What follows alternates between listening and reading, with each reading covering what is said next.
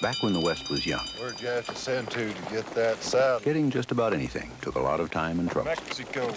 Even a good beer was a rarity. Anybody want a Henry's? Henry's. In fact, to get the West's finest beer, Henry Weinhard? beer drinkers would sometimes wait for months Just come into town. because it would often have to come from hundreds of miles away. Where'd they have to send to to get that beer? Oregon. But while it may seem unusual to have taken so much time and trouble just for a better beer, Now for supper, it really wasn't. there's a few things that's not on the regular menu. Even then, Westerners always tried to do everything in a very special way. In addition to the beef, we have a nice loin of buffalo in a light cream sauce. Our fresh fish tonight is brook trout almondine.